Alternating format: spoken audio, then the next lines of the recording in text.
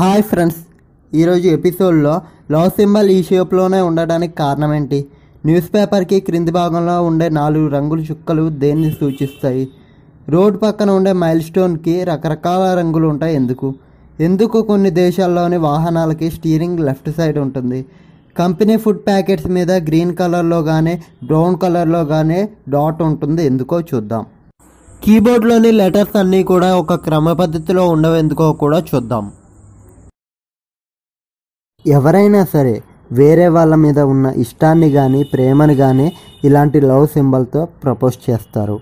మరి love symbol ఈ షేప్లో ఉండడానికి కారణం ఏంటో చూద్దాం.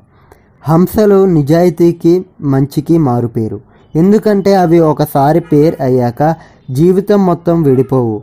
వాటి మధ్య ప్రేమ ఇష్టం వాటికి అంత ఉంటుంది. ఎప్పుడైనా రెండు హంసలు కలిస్తే ఆ షేప్ ఇలా లవ్ సింబల్ రూపంలో వస్తుంది. అదే నిజాయితీ ప్రేమ మనుషుల్లో కూడా ఉండాలని ఆ లవ్ సింబల్ని డిజైన్ చేశారు. కానీ ఇప్పుడు ఉన్న సొసైటీలో యూత్కి లవ్ అంటే అట్రాక్షన్ అయిపోయింది. హంసల్లా కలిసి ఉండండిరా బాబు అంటుంటే హంసలు ఇప్పుడు లేవు కదా హంసల్లా కలిసి ఉండడానికి అంటున్నారు. మీరు ఎప్పుడైనా గమనించారా? మనం న్యూస్ పేపర్ చదువుతున్నప్పుడు పేపర్కి క్రింది భాగంలో నాలుగు రంగుల చుక్కలు కనబడతాయి. అవి ఎందుకో ఇప్పుడు చూద్దాం. ప్రతి పేపర్లోనూ క్రింది భాగంలో కానీ మూలలలో కానీ నాలుగు రంగుల చుక్కలు ఉంటాయి. వాటిని సిఎం వైకే అంటారు. సి అంటే సియాన్ అంటే బ్లూ కలర్ అని అర్థం. ఎం అంటే మెజెండా అంటే పింక్ కలర్ అని అర్థం. అలాగే వై అంటే ఎల్లో బ్లాక్ కలర్ని కేతో సూచిస్తారు. ఈ నాలుగిటిని ప్రింటింగ్ పరిభాషలో ప్రైమరీ కలర్స్ అంటారు. వీటిలో రెండు మూడు లేదా నాలుగు రంగుల కలయికతో మనకి కావలసిన ఏ రంగునైనా పొందవచ్చు. పేపర్ని ప్రింట్ చేసే సమయంలో ఈ కలర్స్కి సంబంధించిన ప్లేట్స్ అనేవి ఒక క్రమ పద్ధతిలో అమర్చబడి ఉంటాయి. ఇవి వాటి స్థానంలో అవి ఉంటే ప్రింటింగ్ సరిగ్గా వస్తుంది. ఒకవేళ ఆ ప్లేట్లు ఆ స్థానం నుండి కదిలితే ప్రింటింగ్లోని అక్షరాలు కానీ ఫోటోలు కానీ బ్లర్గా ప్రింట్ అవుతాయి.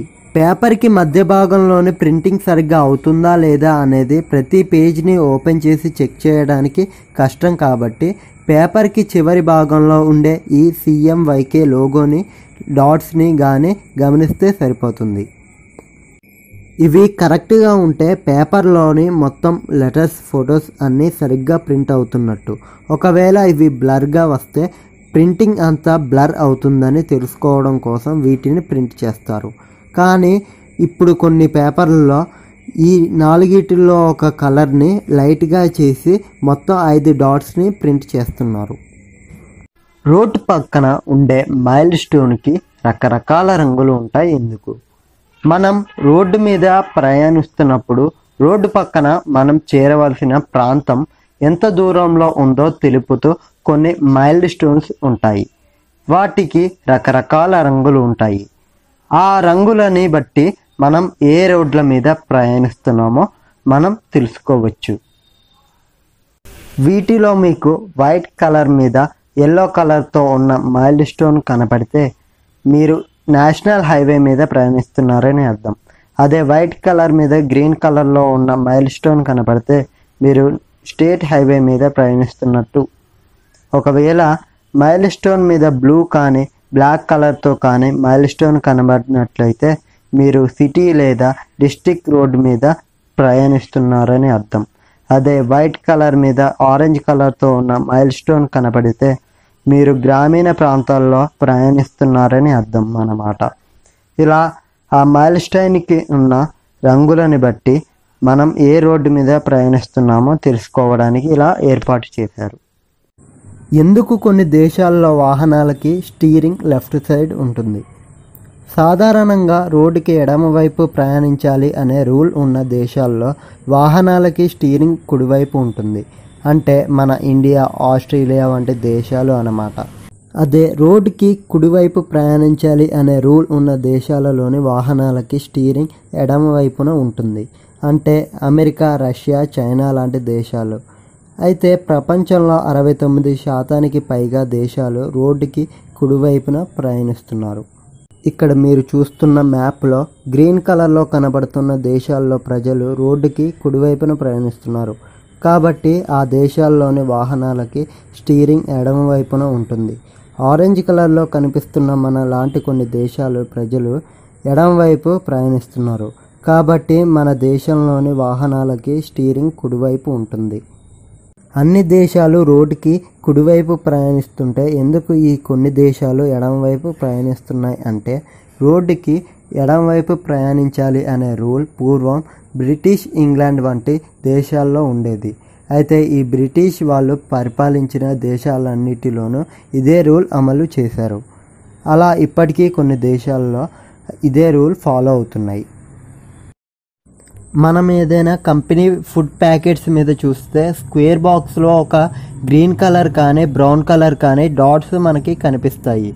అవి ఎందుకు ప్రింట్ చేస్తారో తెలుసా? మనం కొన్న ఫుడ్ వెజ్జా నాన్ వెజ్జా అని తెలుసుకోవడం కోసం ఈ డాట్స్ని ప్రింట్ చేస్తారు. ఆ డాట్స్ని మ్యాండటరీ మార్క్ అని అంటారు. మీరు కొన్న ఫుడ్ ప్యాకెట్ మీద గ్రీన్ కలర్ మ్యాండటరీ మార్క్ ఉంటే అది వెజిటేరియన్ అని అర్థం.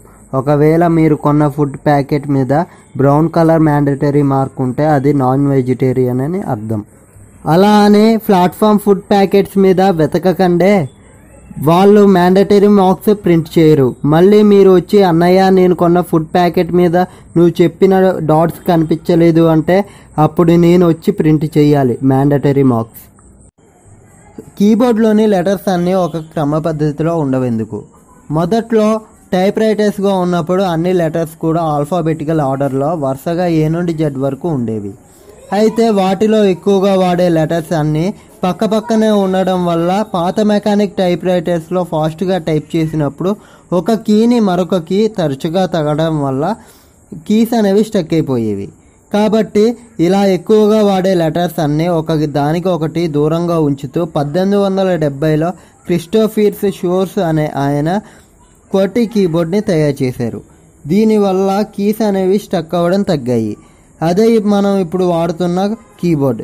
దీనిలో మొదటి ఆరు లెటర్స్ని కలిపి చదివితే క్వర్టీ అని వస్తుంది. కాబట్టి దీనిని క్వర్టీ కీబోర్డ్ అని అంటారు.